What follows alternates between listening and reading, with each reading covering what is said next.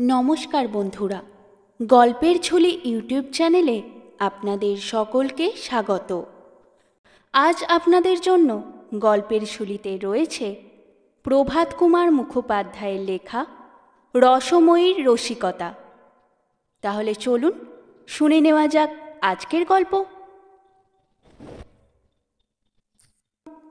ক্ষেত্রমোহনবাবুর অষ্টাদশ বর্ষব্যাপী দাম্পত্য জীবন স্ত্রীর সহিত যুদ্ধবিগ্রহ ও সন্ধি করিতে করিতেই কাটিয়াছে। এমন রণরঙ্গিনী স্ত্রী বঙ্গদেশে প্রায় দেখাই যায় না। ক্ষেত্রমোহনের বয়স এখন চল্লিশ বৎসর। স্ত্রী রসময়ীর বয়স তিরিশ। রসময়ী এ নাম যে রাখিয়াছিল বলিহারি তাহার প্রতিভা।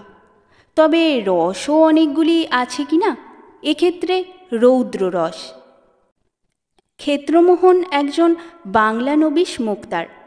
হুগলিতে থাকিয়া বেশ দুই পয়সা উপার্জন করেন। বাড়ি তাহার হুগলিতে নহে, জেলার মধ্যে কোনো এক পল্লী গ্রামে। তবে কয়েক বৎসর হইল হুগলিতে নিজ বাটি নির্মাণ করিয়া বাস করিতেছেন। দুঃখের বিষয়, এ পর্যন্ত ক্ষেত্রমোহনের সন্তানাদি কিছুই হয় নাই।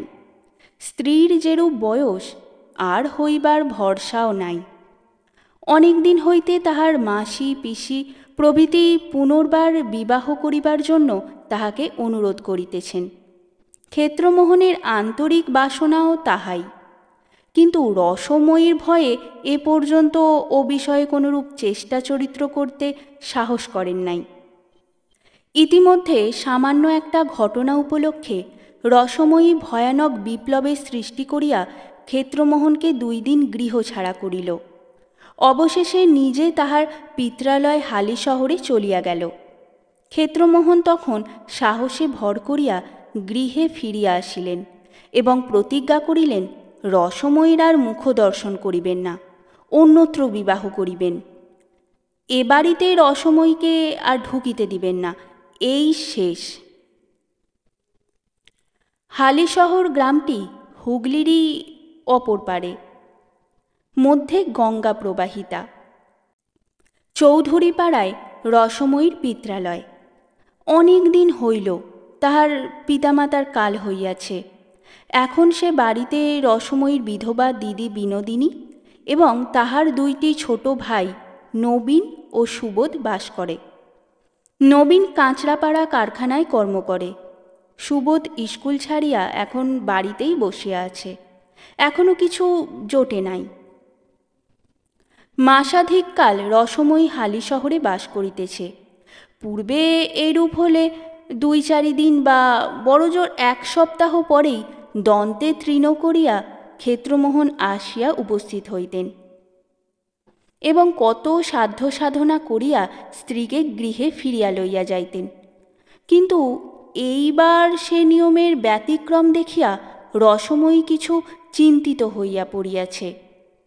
পাড়ার একজন বালক প্রত্যহ নৌকাযোগে গঙ্গা পার হইয়া হুগলি ব্রাঞ্চ স্কুলে পড়িতে যাইত। সে ছেলেটি গ্রামে প্রচার করিয়া দিল, ক্ষেত্রমোহনবাবুর বিবাহ। দিন স্থির হইয়া গিয়াছে। এই কথা শুনিয়া রসময়ীর দিদি বিনোদিনী একদিন বৈকালে ছেলেটিকে বাড়িতে ডাকিয়া আনিলেন। তাহাকে সন্দেশ ও রসগোল্লা খাইতে দিয়া বলিলেন বাবা শুনলাম নাকি আমাদের ক্ষেত্র আবার বিয়ে করছে? এ কথা কি সত্যি? বালক বলিল হ্যাঁ সত্যি বই কি? আমাদের ক্লাসে সুরেশ বলে একটা ছেলে পড়ে। চুচুড়ায় তার মামার বাড়ি। তারই মামাতো বোনের সঙ্গে বিয়ে। ঠিক জানো? জানি বই কি? সুরেশই তো আমাকে বলেছে। দিন স্ত্রী পর্যন্ত হয়ে গেছে। তার মামার নাম কি?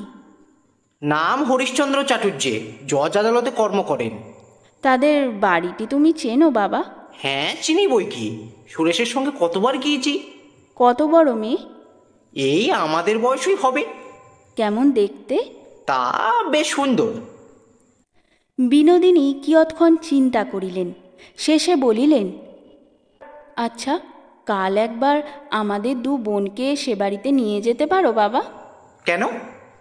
তাদের একবার মিনতি করে বলে কয়ে দেখি বিয়ে হলে আমার বোনটিরও সুখ হবে না তার মেয়েও জলে পড়বে কাল একবার আমাদের নিয়ে চলো।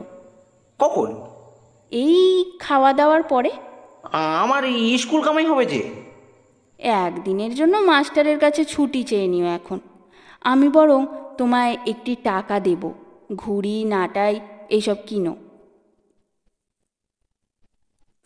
পরদিন বেলা এগারোটার সময় দুই ভগিনীকে সঙ্গে লইয়া বালকটি চুঁচুড়া যাত্রা করিল। গঙ্গা পার হইয়া ঘোড়ার গাড়ি ভাড়া করিয়া মাধবীতলায় হরিশবাবুর গৃহে গিয়া উপস্থিত হইল। খিড়কি দরজার সম্মুখে গাড়ি দাঁড়াইল। রসময়ী বলিল এই বাড়ি? হ্যাঁ।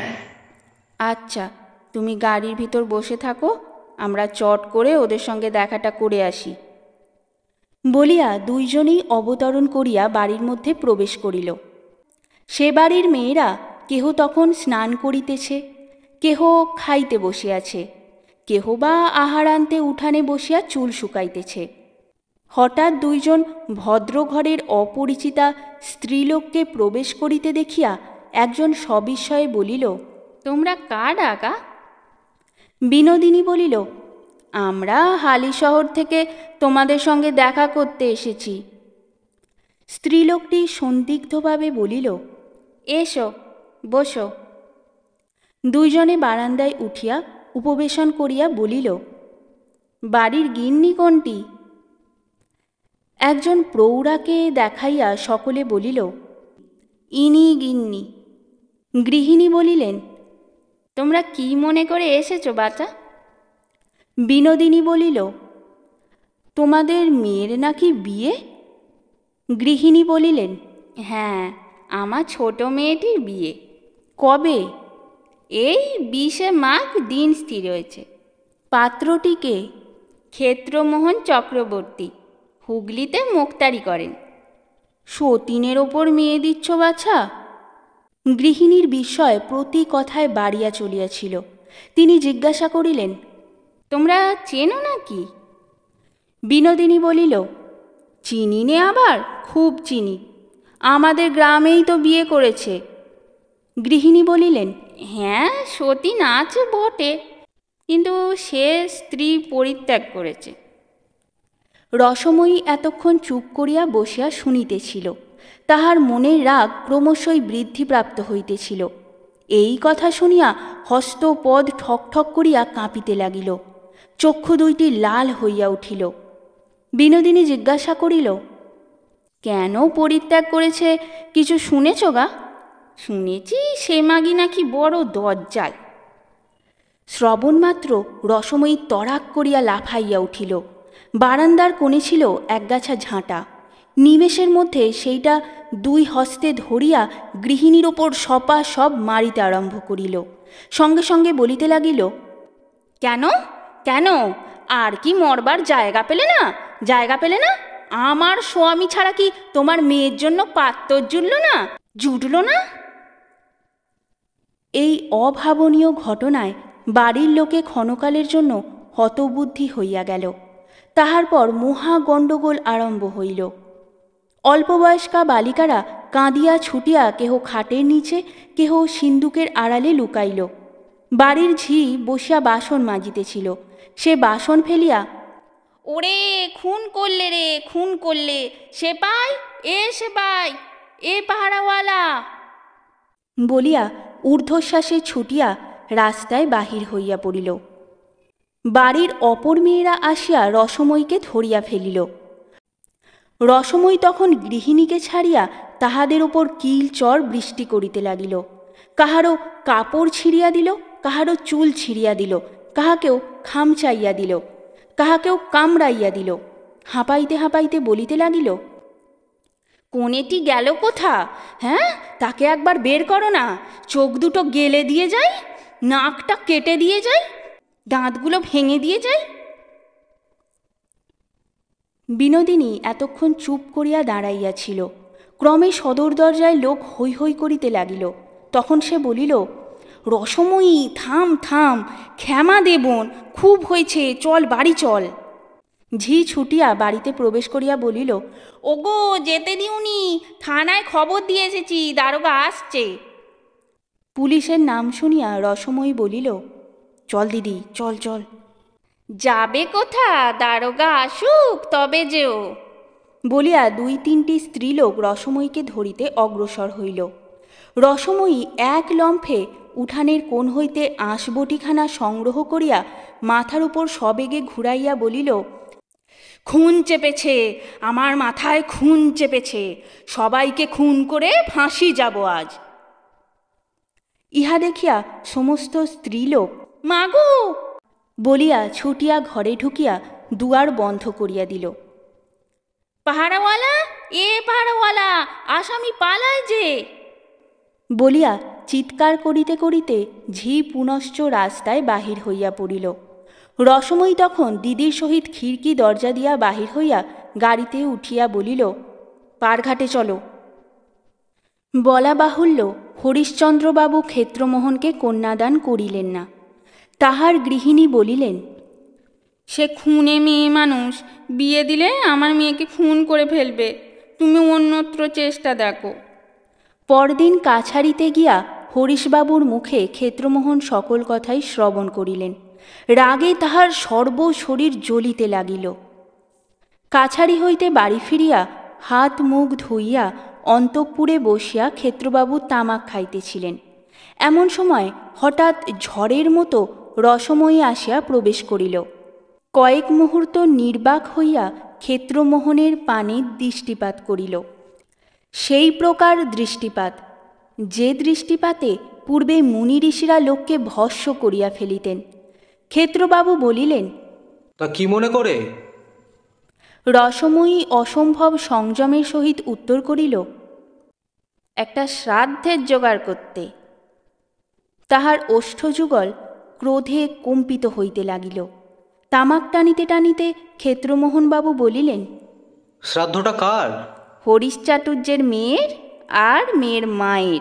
তাহলে দুটো শ্রাদ্ধ বলো সঙ্গে সঙ্গে অমনি নিজেরটাও সেরে নিলে হয় না? সেইটে হবে না এখন। বুড়ো বয়সে বিয়ে করছ নাকি শুনলাম? হুঁকা নামাইয়া একটু উত্তেজিতভাবে ক্ষেত্রমোহন বলিলেন করছি তো। করব না কেন? তোমার ভয় নাকি? রসময়ী চিৎকার করিয়া হাত নাড়িয়া বলিল করো না করে একবার মজাটাই দেখো না। কি করবে তুমি হ্যাঁ? করবে কি তুমি? এই এমন কিছু না। আঁশবটি দিয়ে সে মেয়ের নাকটা কেটে দেব আর বুকে একখানা দশ মুনে পাথর চাপিয়ে দেব। নাক কেটে দেবো? আর তোমার নাক কানটা যদি কেউ কেটে দেয়? এসো না কাটো না তুমিই কাটো না হয়। বলিয়া রসময়ী নিজের কোমরে দুই হাত দিয়া ঝুঁকিয়া নিজের মুখ ক্ষেত্রমোহনের অতি নিকটে সরাইয়া দিল। স্ত্রীর এতাদৃশ বিনয় দেখিয়া ক্ষেত্রমোহন আবার হুঁকা উঠাইয়া আপন মনে টানিতে লাগিলেন। ঝুঁকিয়া থাকিয়া যখন ক্লান্তি বোধ হইল, রসময়ী তখন নিজের মুখ সরাইয়া লইয়া আবার সোজা হইয়া দাঁড়াইল। বলিল, তাহলে আঁশবটিতে শান দিয়ে রাখি গে? সম্বন্ধ পাকা হলে খবরটা দিও। চুপি চুপি যেন শুভকর্মটা সেরে ফেলো না। না না, তুমি না মরলে আমি বিয়ে করছি নে। মরবে কবে? এই কথা শুনিয়া রসময়ী বিদ্রুপের স্বরে হাহা করিয়া হাসিয়া উঠিল, বলিল, আমি মরব কবে জিজ্ঞাসা করছ? রশি বামনি এক্ষুনি মরছে না। তার এখনও অনেক দেরি, বিস্তর বিলম্ব। তোমার বিয়ে করবার বয়স যাবে, বুড়ো থুতথুরে হবে, ভুঁয়ে মুয়ে হয়ে যাবে। যখন আর কেউ তোমায় মেয়ে দিতে রাজি হবে না, তখন আমি মরব। দাম্পত্য রসালাপ এই পর্যন্ত অগ্রসর হইলে বাহিরে একখানি গাড়ি থামিবার শব্দ হইল। রসময়ী বলিল, তবে সেই কথাই রইল। এখন তবে আসি। দিদি ও পাড়ায় তার জায়ের বাড়ি গিয়েছিল। ভাবলাম তার সঙ্গে এসে তোমার সঙ্গে দুটো মনের কথা কয়ে যাই। বলিয়া রসময়ী প্রস্থান করিল। উক্ত কথোপকথনের পর ছয় মাস কাটিয়া গিয়াছে। রসময়ীর গর্ব সফল হইল না। সে এখন মৃত্যুশয্যায় শায়িত। সংবাদ পাইয়া ক্ষেত্রমোহনবাবু হালি শহরে গেলেন। চিকিৎসাদের কিছুই ত্রুটি হইল না, কিন্তু রসময়ী বাঁচিল না। গঙ্গা তীরে লইয়া গিয়া ক্ষেত্রমোহন স্ত্রীর মুখাগ্নি করিলেন। আশ্চর্য সংসারের মায়া। যে এত কষ্ট দিয়াছে, তাহার জন্য ক্ষেত্রমোহন ঝরঝর করিয়া অশ্রুপাত করিতে লাগিলেন। আরও মাস ছয় কাটিল। ক্ষেত্রমোহনের পার্শ্বচর বন্ধুবান্ধবগণ নানা স্থানে পাত্রী অন্বেষণে ব্যস্ত হইলেন। অবশেষে হুগলির নিকটবর্তী একটি গ্রামে সুযোগ্য পাত্রীর সন্ধান পাওয়া গেল। ক্ষেত্রমোহন স্বয়ং গিয়া দেখিয়া আসিলেন। মেয়েটি ডাগর, দেখিতেও ভালো। বিশেষ মেয়ের পিতা একটি বড় জমিদারের নায়েব। ওদিককার মামলা মকদ্দমাগুলিও এই সূত্রে ক্ষেত্রমোহন বাবুর করায়ত্ত হইবে। কন্যার পিতা রজনীকান্ত ঘোষাল ইংরাজি লেখাপড়া জানা ব্যক্তি। বিবাহের কথাবার্তা পাকা হইল। বরের খুড়ো মহাশয় গ্রাম হইতে আসিয়াছেন। কাল আশীর্বাদ। প্রভাতে অফিস কক্ষে বসিয়া দুই চারিজন মক্কেলের সঙ্গে মুক্তারবাবু কথাবার্তা কহিতেছিলেন। খুড়া মহাশয় একখানি বঙ্গবাসী হস্তে ঘরের কোণে বসিয়া তামাকু সেবন করিতেছিলেন। এমন সময় ডাক পিয়ন আসিল। ক্ষেত্রমোহনবাবুর হস্তে একখানি পত্র দিয়া গেল। খামের উপর হস্তাক্ষরের প্রতি দৃষ্টিপাত করিয়া ক্ষেত্রমোহনের মাথা ঘুরিয়া গেল। দুই চারিবার চক্ষু রগড়াইয়া বারংবার খামখানির শিরোনাম পরীক্ষা করিতে লাগিলেন। কাছে আনিয়া দূরে সরাইয়া নানা প্রকারে দেখিলেন। অবশেষে কম্পিত হস্তে পত্রখানি খুলিলেন।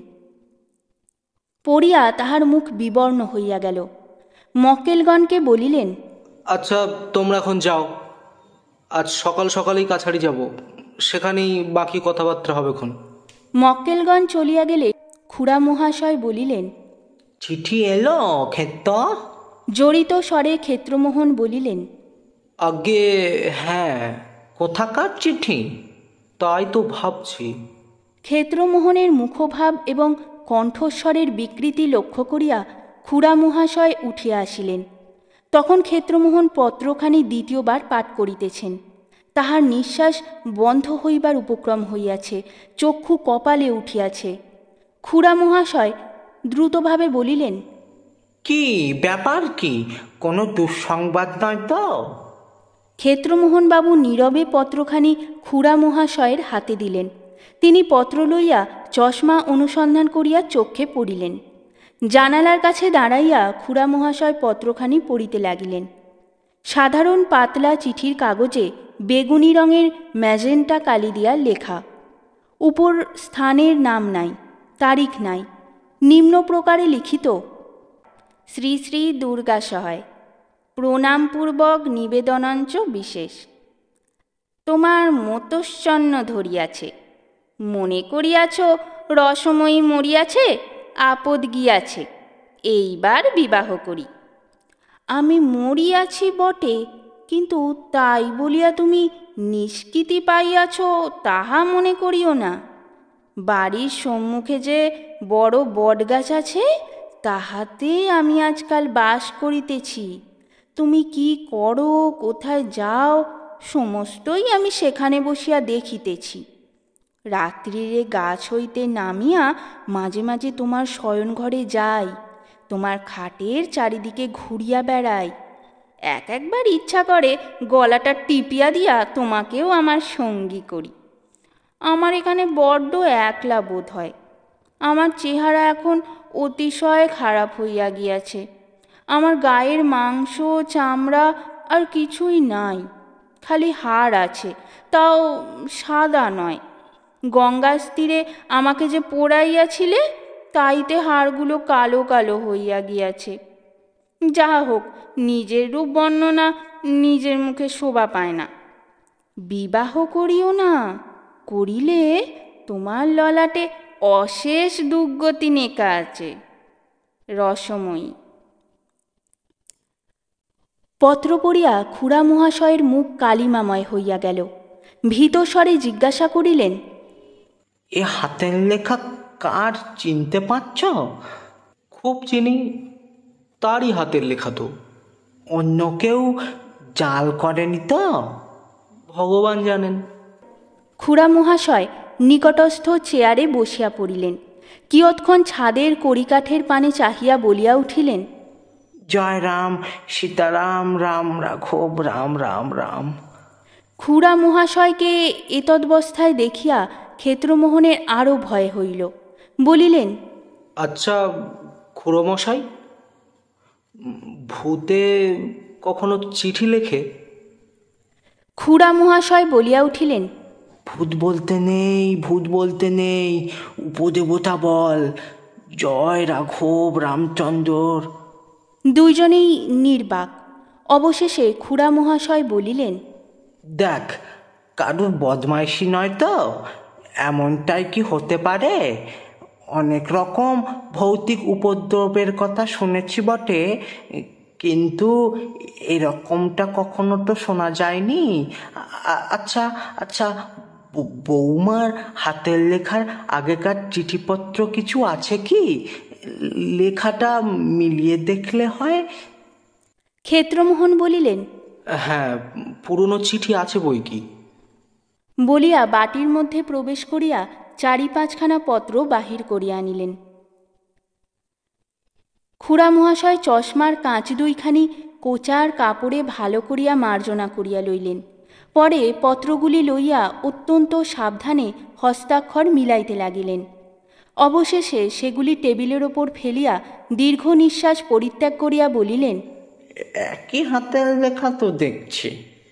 খামখানা উল্টিয়া পাল্টিয়া দেখিতে লাগিলেন। এক পয়সার ছয়খানাওয়ালা সাধারণ সাদা খাম তাহাতে একখানি দুই পয়সার টিকিট আটা আছে। ক্ষেত্রমোহনের হাতে খামখানি দিয়া বলিলেন কোথাকার ছাপ দেখো তো। ক্ষেত্রবাবু বাংলা নবিশ মুক্তার হইলেও ইংরাজি ছাপার অক্ষর পড়িতে পারিতেন। ছাপ পরীক্ষা করিয়া বলিলেন এ তো হুগলির ছাপ কালকে তারিখ দেওয়া খুড়া মহাশয় চুপ করিয়া বসিয়া রহিলেন। মাঝে মাঝে কেবল অস্ফুট স্বরে বলিতে লাগিলেন জয় রাম শ্রীরাম সীতারাম। কাছারির বেলা হয় দেখিয়া মুক্তারবাবু স্নান করিয়া আহারে বসিলেন। কিন্তু কিছুই খাইতে পারিলেন না। রান্নাঘরের বারান্দায় যেখানে বসিয়া তিনি আহার করিতেছিলেন, সেখান হইতে বটগাছটার অগ্রভাগ দেখা যায়। খান আর মাঝে মাঝে সেই গাছটার পানে চাহেন। একসময় গাছের একটা ডাল খড়খড় করিয়া নড়িয়া উঠিল। কাহার যেন হাসিরও শব্দ শোনা গেল। ক্ষেত্রমোহনবাবুর আর খাওয়া হইল না। উঠিয়া পড়িলেন। মুখ প্রক্ষালন করিয়া বাহিরে আসিয়া বটগাছটার পানে কিছুক্ষণ চাহিয়া রহিলেন। দুই তিনটা কাঠবেড়ালি ডালে ডালে পরস্পরকে তাড়া করিয়া ফিরিতেছে। গোটাকত কাক উচ্চ শাখায় বসিয়া জাতীয় সংগীত গাহিতেছে। ইহা ভিন্ন আর কিছুই তিনি দেখিতে পাইলেন না। সেই দিন সন্ধ্যাবেলায় ক্ষেত্রমোহনের শয়নকক্ষে খুড়া ভাইপো বসিয়া কথোপকথন করিতেছিলেন। দিবসে খুড়া মহাশয় কপাটের বাহিরে এবং ভিতরে দেওয়ালময় রাম নাম লিখিয়া দিয়াছেন। অদ্য দুইজনেই এক শয্যায় শয়ন করিবেন। বালিশের তলায় একখানি কৃত্তিবাসী রামায়ণ রক্ষিত হইবে এবং ঘরে সমস্ত রাত্রি আলো জ্বলিবে, বন্দোবস্ত হইয়া গিয়াছে। ক্ষেত্রমোহন বলিলেন, তাহলে খুড়োমশাই, কি করা যায়? বিবাহটা বন্ধই করে দেওয়া যাবে? খুড়া মহাশয় বলিলেন আমি তো তার দরকার দেখছি নে। যদি কোনো উপদ্রব অত্যাচার হয়? খুড়া মহাশয় কিয়ৎক্ষণ চিন্তা করিলেন। শেষে বলিলেন ভয়ের কোনো কারণ দেখি নে। ওই যে বলেছে ইচ্ছে করে তোমার গলাটা টিপে দিই? না তা পারবে না। হাজার হোক স্বামী তো বটে। আর যে বলেছে বিয়ে করো না করলে তোমার অশেষ দুর্গতি হবে? অশেষ দুর্গতি হবে মানে এ নাও হতে পারে যে আমি তোমার অশেষ দুর্গতি করব। এর মানে বোধ হয় এই যে অধিক বয়সে বিবাহ করলে যে সমস্ত সাংসারিক অশান্তি উপস্থিত হয় তাই তোমারও অদৃষ্টে ঘটবে। ক্ষেত্রমোহনবাবু চুপ করিয়া রহিলেন। মনে ভয়ও যথেষ্ট আছে অথচ বিবাহ করিবার লোভটিও সম্বরণ করা তাহার পক্ষে অসাধ্য। পরদিন আশীর্বাদ হইয়া গেল। কিন্তু ক্ষেত্রমোহন যে ভৌতিক পত্র পাইয়াছেন, সে কথাও রাষ্ট্র হইতে বিলম্ব হইল না। নায়েব রজনীবাবুর কানেও ক্রমে কথা পৌঁছিল। বলিয়াছি, তিনি ইংরাজি জানা ব্যক্তি শুনিয়া হা হা করিয়া হাসিয়া উঠিলেন। বিবাহের দিন স্থির হইয়াছে আটই ফাল্গুন। আর পাঁচ দিন মাত্র বাকি আছে। উভয় পক্ষ হইতে সমস্ত আয়োজনাদি হইতেছে। বিকালে বৈঠকখানায় ক্ষেত্রবাবু জন কয়েক বন্ধু বান্ধব সহ বসিয়াছিলেন। ইহাদের মধ্যে একজন সরকারি উকিল, নাম মনোহরবাবু। লোকটির বয়স চল্লিশ পার হইয়াছে, চোখে সোনার চশমা, মাথায় ঝাঁকড়া ঝাঁকড়া চুল, মুখমণ্ডল প্রচুর গোঁফদারিতে আবৃত, হাতে বড় বড় নোখ এক কথায় লোকটি থিওজফিস্ট। ক্ষেত্রবাবুর ভৌতিক পত্রপ্রাপ্তির সমাচার অবগত হইয়া অবধি মনোহরবাবু ইহার সঙ্গে একটু ঘনিষ্ঠতা স্থাপন করিয়া লইয়াছেন। অপর একজন নব্যযুবক, নাম সুরেন্দ্রনাথ। ইনি এলে ফেল করা শিক্ষিত মুক্তার। বিস্তর ইংরাজি উপন্যাস পাঠ করিয়াছেন। সুরেন্দ্রনাথ বলিলেন, ক্ষেত্রবাবু, একটা কথা আমার মনে হচ্ছিল অনেক উপন্যাসে পড়া গেছে, একটা দুর্ঘটনা ঘটে গেল। যেমন রেলে কলিশন বা লৌকোডুবি বা আর কিছু। সকলেই মনে করছে অমুক লোকটা মারা গেছে। মৃত্যুর চাক্ষু সাক্ষীরও অভাব নেই। কিন্তু বইয়ের শেষ দিকটায় দেখা গেল, সে বেঁচে আছে। তাই আমার মনে হয় আপনার স্ত্রী এখনও বেঁচে আছেন। নয় চিঠি জাল।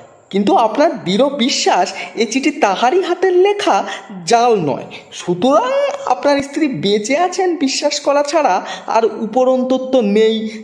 কারণে বিংশ শতাব্দীতে ভূতের অস্তিত্ব কোনো মতেই বিশ্বাস করতে পারা যায় না মশাই। থিওজফিস্ট উকিলবাবুটি ইহা শুনিয়া বলিলেন কেন মশাই? বিংশ শতাব্দীতে ভূতের অস্তিত্ব কোনো মতেই বিশ্বাস করতে পারেন না কেন? নবীন মুক্তারবাবু বলিলেন কারণ আমি কখনো দেখিনি। শুনিয়া মনোহরবাবু বিজ্ঞতার হাস্য করিয়া বলিলেন সম্রাট সপ্তম এডওয়ার্ডকে কখনো দেখেছেন? না দেখিনি। তিনি আছেন বলে বিশ্বাস করেন? করি তার কারণ আমি না দেখলেও হাজার হাজার লোক তাকে দেখেছে। তার দশ বিশখানা ছবিও দেখেছি। কিন্তু ভূত আমি নিজে দেখেছি এমন কথা আজ পর্যন্ত কাউকে বলতে শুনলাম না। সবাই বলে খুব বিশ্বস্ত লোকের মুখে শুনেছে যে তারা স্বয়ং ভূত দেখেছে।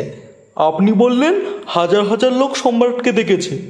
তেমনি হাজার হাজার লোক অশ্বশরী আত্মাকেও প্রত্যক্ষ করেছে। আপনি বললেন যে সম্রাটের দশ বিশখানা ছবি দেখেছেন। তেমনি দশ বিশখানা ভূতেরও ছবি আপনাকে আমি দেখাতে পারি। যদি দেখতে চান, একদিন আমার বাড়িতে যাবেন।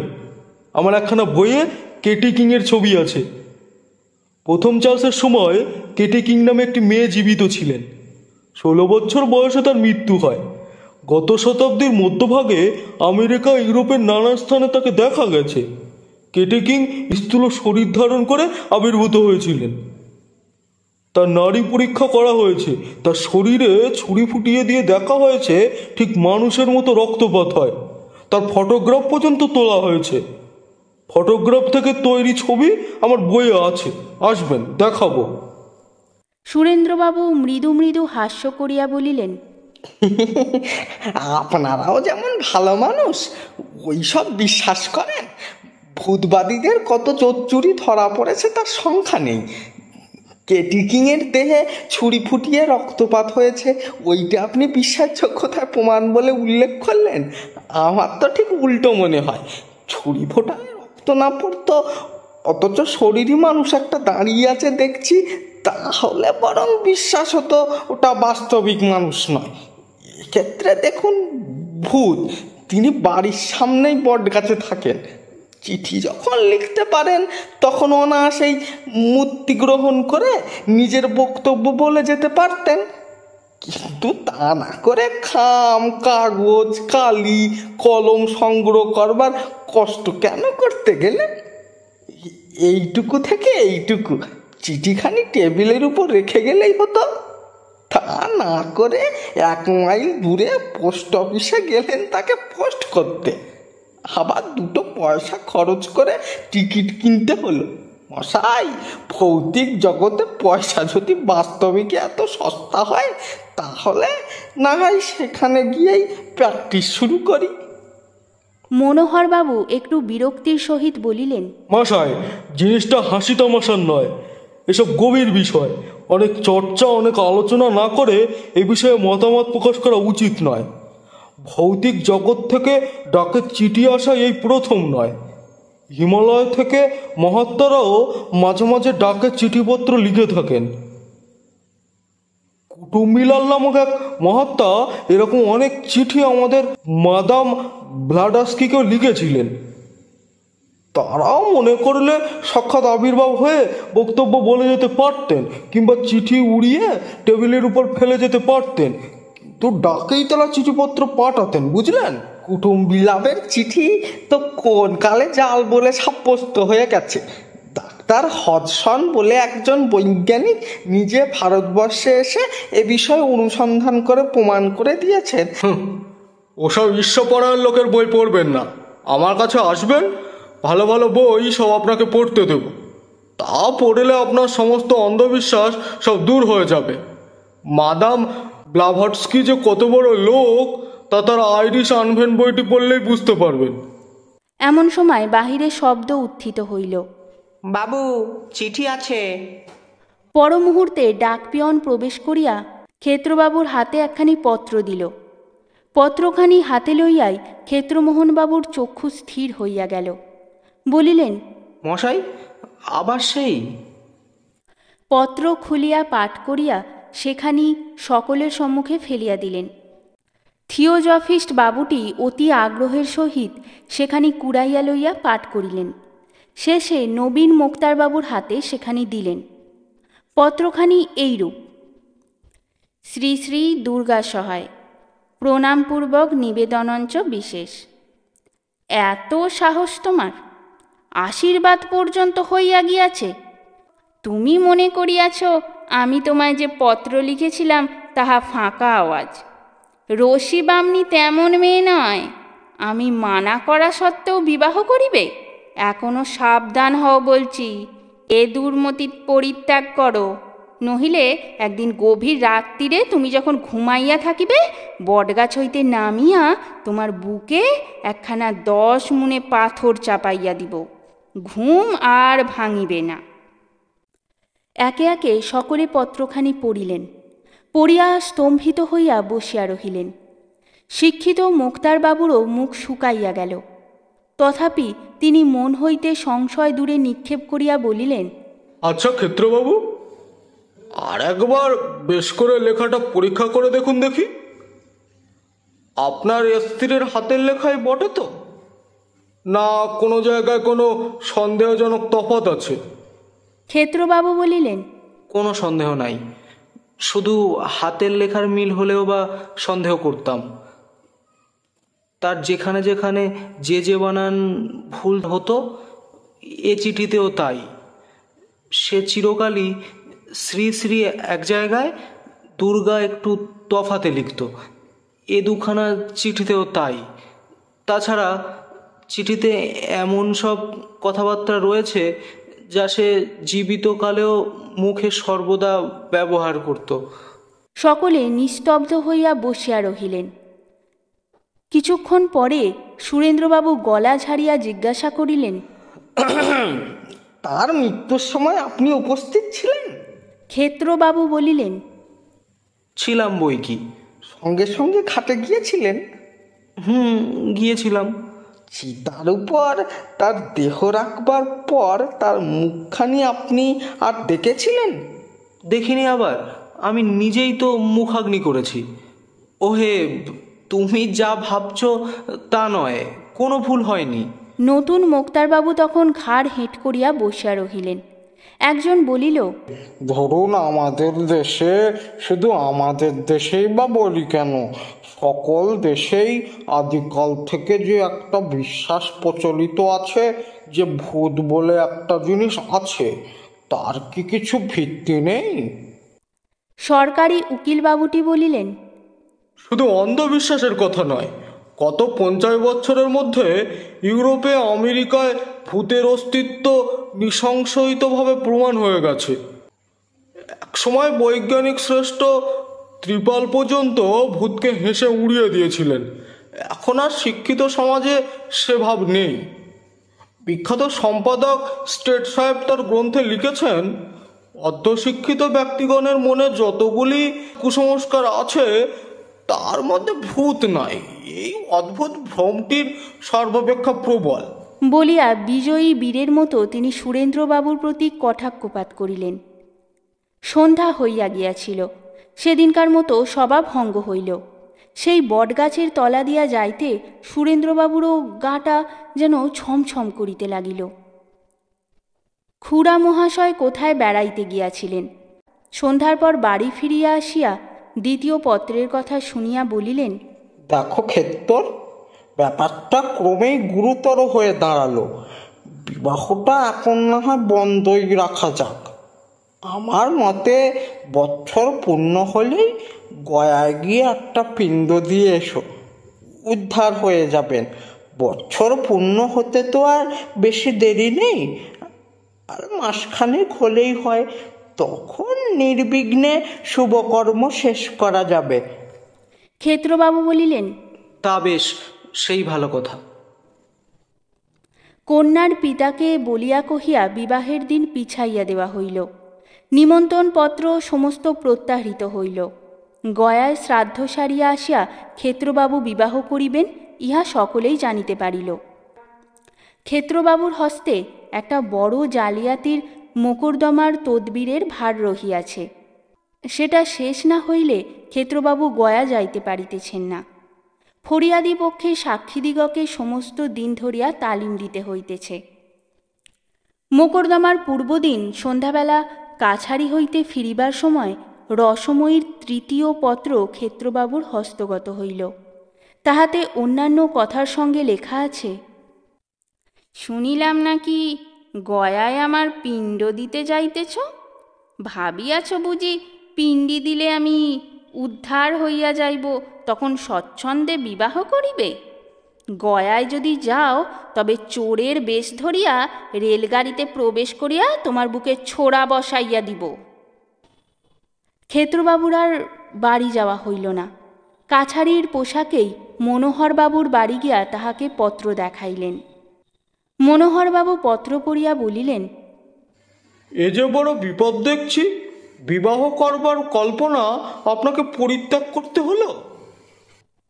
ক্ষেত্রবাবু বলিলেন আচ্ছা মশাই অশরী আত্মা মানুষের বুকে ছুরি বসিয়ে দিতে পারে আপনাদের থিওজপি শাস্ত্রে কি বলে? মনোহরবাবু একখানা মোটা বই আলমারি হইতে পারিয়া এক স্থান খুলিয়া বলিলেন এ সম্বন্ধে থিওজপি শাস্ত্রের মত নেই।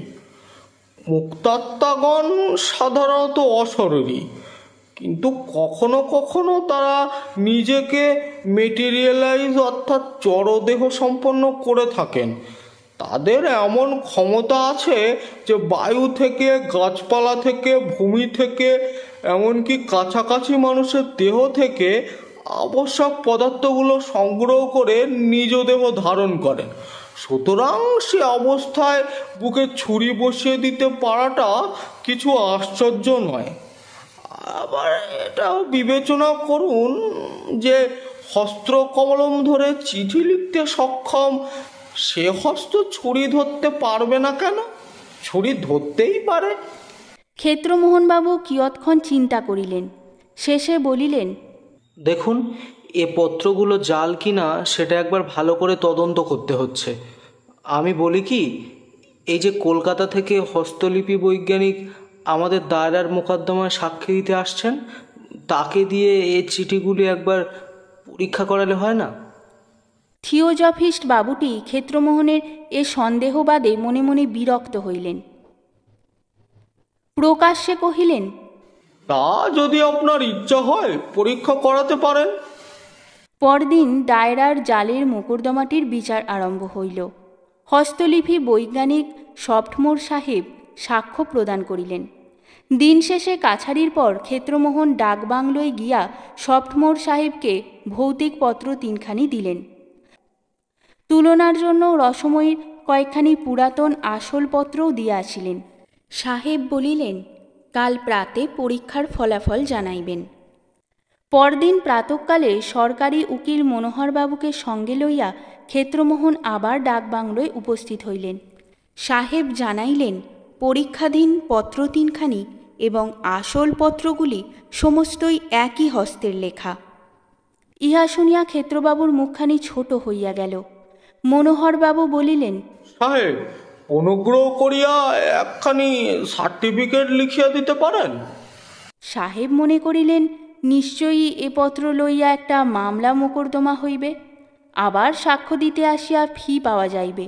সুতরাং আহ্লাদের সহিত তিনি সার্টিফিকেট লিখিয়া দিলেন। বাসায় যাইতে যাইতে মনোহরবাবু ক্ষেত্রবাবুকে বলিলেন এই চিঠিগুলোর নকল আর সাহেবের সার্টিফিকেট যদি আমাদের থিওজফিক্যাল রিভিউ নামক মাসিক পত্রে ছাপাতে পাঠাই তাতে আপনার কোনো আপত্তি আছে কি? আমরা যাকে স্পিরিট বাইটিং বলি তার সুন্দর অকাট্য প্রমাণ হবে। ক্ষেত্রবাবু বলিলেন তাতে আমার আপত্তি নেই। পরবর্তী সংখ্যা থিওজফিক্যাল রিভিউ পত্রে সার্টিফিকেট সহ চিঠিগুলি ছাপা হইয়া গেল। নানা স্থান হইতে বড় বড় থিওজফিস্টগণ ক্ষেত্রমোহনবাবুকে পত্র লিখিতে আরম্ভ করিলেন। কেহ কেহ হুগলিতে আসিয়া পত্রগুলি সচক্ষে দেখিয়া বিস্ময়ে অভিভূত হইতে লাগিলেন। থিওজফিস্ট মহলে ক্ষেত্রবাবুর পসারের আর সীমা নাই। কিন্তু ইহাতে তিনি কিছুমাত্র সান্ত্বনা লাভ করিলেন না। পত্রগুলি জাল প্রমাণ হইলে তিনি বিবাহ করিয়া সুখী হইতে পারিতেন। ভয়ে গয়ায় গিয়া পিণ্ডদান করিতেও পারিলেন না। তাহার অদৃষ্টে বুঝি বিবাহ আর নাই। চৈত্র মাস আসিল, বসন্তের বাতাস বহিতেছে। দোল উপলক্ষে কাছারি বন্ধ। ক্ষেত্রমোহন বাড়িতে বসিয়া নিজ দূরদৃষ্টের বিষয় চিন্তা করিতেছিলেন। এমন সময় একজন আসিয়া সংবাদ দিল, হালি শহরে তাহার শ্বশুরবাড়িতে মহা বিপদ উপস্থিত। দোল উপলক্ষে বাজি পোড়াইতে গিয়া একটা বোমা ফাটিয়া তাহার ছোট সম্বন্ধী সুবোধ বিশেষ আঘাতপ্রাপ্ত হইয়াছে। তাহাকে হুগলিতে হাসপাতালে আনা হইয়াছে। শুনিয়া ক্ষেত্রবাবু থাকিতে পারিলেন না। গাড়ি ভাড়া করিয়া হাসপাতাল অভিমুখে ছুটিলেন। সেখানে গিয়া দেখিলেন ছেলেটির অবস্থা সংকটাপন্ন। বিছানার নিচে মেঝের উপর বসিয়া বিধবা বিনোদিনী রোদন করিতেছেন। ক্ষেত্রমোহনকে দেখিয়া তিনি আরও রোদন করিতে লাগিলেন। সমস্ত দিন ঔষধ প্রয়োগ ও শুশ্রূষা চলিল। সন্ধ্যার দিকে ডাক্তারেরা বলিল, আর প্রাণের আশঙ্কা নাই। ক্ষেত্রমোহন শালিকাকে বলিলেন ঠাকুরজি সন্ধে হলো এইবার বাড়ি চলো। বিনোদিনী বলিলেন আমি সুবোধকে ছেড়ে বাড়ি যেতে পারব না। সমস্ত দিন অনাহারে আছে স্নানাহার পর্যন্ত হলো না। তা না হোক আমি যেতে পারব না। অবস্থা বুঝিয়া হাসপাতালের ডাক্তারেরা বলিলেন আপনাকে বাড়ি যেতে হবে? এখানে তো রাত্রে থাকতে পারবেন না।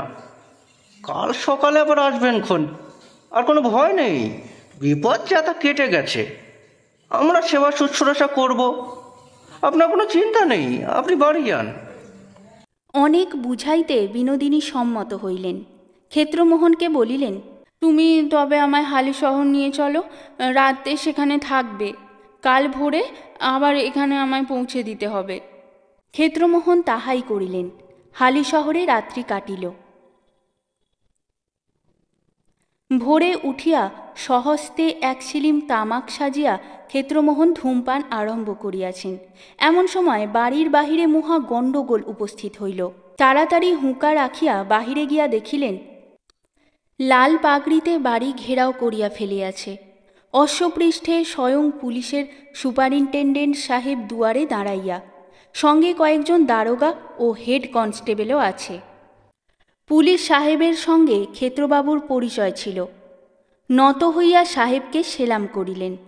সাহেব চুরুট মুখে বলিলেন হ্যালো মুখঠিয়ার তুমি এখানে কি করিতেছ?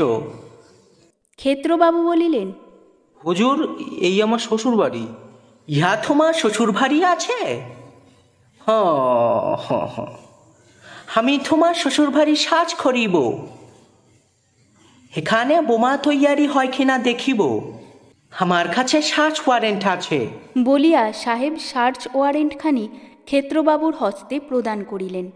ক্ষেত্রবাবু সেখানি উল্টিয়া পাল্টিয়া দেখিয়া সাহেবের হাতে ফিরাইয়া দিলেন। বলিলেন হুজুর মালিক যা ইচ্ছা করিতে পারেন। সাহেব বলিলেন স্ত্রীলোকগণকে লুকাইয়া রাখো। পুলিশ গৃহমধ্যে প্রবেশ করিল। স্ত্রীলোকগণের মধ্যে কেবল বিনোদিনী। তিনি পুলিশের ভয়ে কোথাও লুকাইবার প্রয়োজন দেখিলেন না। হরিনামের মালাটি হাতে করিয়া উঠানে তুলসীতলায় বসিয়া রহিলেন। খানা তল্লাশি আরম্ভ হইল। বন্দুক, বারুদ, ডিনামাইট, বোমা, বর্তমান রণনীতি, যুগান্তর গীতা, দেশের কথা, রিভিউ অব রিভিউজ, প্রভৃতি কিছুই বাহির হইল না। বাহির হইল হিন্দু সৎকর্মমালা, গুপ্তপ্রেস পঞ্জিকা কাশিদাসী মহাভারত এবং একখানা বটতলার ছেঁড়া উপন্যাস। ক্ষুদ্র বা বৃহৎ কোনো দেশনায়কের কোনো ছবি বাহির হইল না। বাহির হইল কেবল খানকতক কালীঘাটের পট এবং একখানা আর্ট স্টুডিওর গণেশ মূর্তি। জমিদারের খানকতক, পুরাতন দাখিলা এবং একটা ধুলিমলিন চিঠির ফাইল বাহির হইল। বিনোদিনীর বাক্স হইতে বাহির হইল এক বান্ডিল চিঠি এবং খানকতক ঠিকানা লেখা সাদা খাম। সমস্ত জিনিস উঠানে আনিয়া জমা করা হইল। একজন দ্বারকা কাগজপত্রগুলির ফিরিস্তি প্রস্তুত করিতে লাগিলেন। ক্ষেত্রমোহনও সেইখানে বসিয়াছিলেন। তিনি দেখিলেন, সাদা খামগুলির প্রত্যেকখানিতে তাহারই শিরোনামা লেখা এবং রসময়ীর হস্তাক্ষর। পুলিশ সাহেবের অনুমতি লইয়া খাম ও চিঠিগুলি ক্ষেত্রবাবু পরীক্ষা করিতে লাগিলেন। খানকুড়ি চিঠি রহিয়াছে। সমস্তই বেগুনি রঙের ম্যাজেন্টা কালিতে, রসময়ীর হস্তাক্ষরে লিখিত। কয়েকখানি চিঠি খুলিয়া ক্ষেত্রবাবু পাঠও করিলেন। নানা অবস্থা বিবেচনা করিয়া অনুমানে পত্রগুলি লিখিত। কোনো কোনোটাতে বটগাছে বাসস্থানেরও উল্লেখ আছে। একখানাতে আছে, গয়ায় পিণ্ডদান করিয়া আসিয়াছ বলিয়া মনে করিও না আমি আর তোমার অনিষ্ট করিতে পারিব না। এখনও রশিবামনি তোমার ঘাড় মটকাইতে পারে। একখানাতে রহিয়াছে, শুনিলাম বিবাহের দিন স্থির হইয়াছে, এখনও সাবধান। একখানাতে আছে, কল্ল তোমার বিবাহ, এত মানা করিলাম কিছুতেই শুনিলে না। আচ্ছা বাসর ঘরে আগুন জ্বালাইয়া তোমাকে ও তোমার বধূকে পোড়াইয়া মারিব। ইত্যাদি। সমস্ত ব্যাপারটা দিনের আলোর মতো তখন ক্ষেত্রমোহনের নিকট পরিষ্কার হইয়া গেল। বিনোদিনী তুলসীতলায় বসিয়া সমস্ত দেখিতেছিলেন। ক্ষেত্রমোহন বলিলেন ঠাকুরজি এসব কি? ঠাকুরজি আপন মনে মালা জপ করিয়া যাইতে লাগিলেন। শেষ হল আমাদের আজকের গল্প। গল্প পাঠে এবং মহিলা চরিত্রে আমি তৃষিতা পুরুষ চরিত্রে শুভঙ্কর। গল্পটি ভালো লাগলে লাইক এবং শেয়ার করে দেবেন। আর কেমন লাগল সেটা কমেন্টে জানাতে ভুলবেন না। আর এরকম নতুন নতুন গল্প শুনতে হলে সাবস্ক্রাইব করবেন গল্পের ঝুলিকে। খুব তাড়াতাড়ি ফিরে আসছি নতুন একটি গল্প নিয়ে। সকলে ভালো থাকুন, শুনতে থাকুন, গল্পের ঝুলি।